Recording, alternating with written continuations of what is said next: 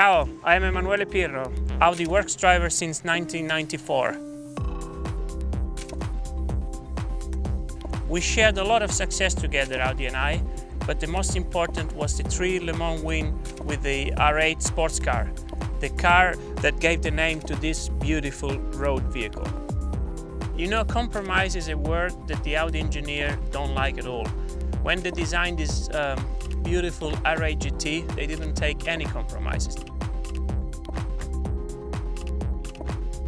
The result is a fantastic car both on a racetrack and on the road, which is very, very difficult to achieve.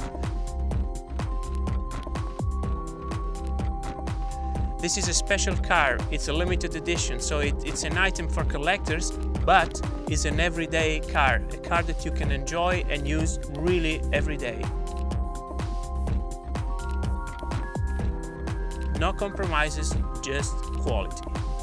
Audi R8 GT, truth in engineering.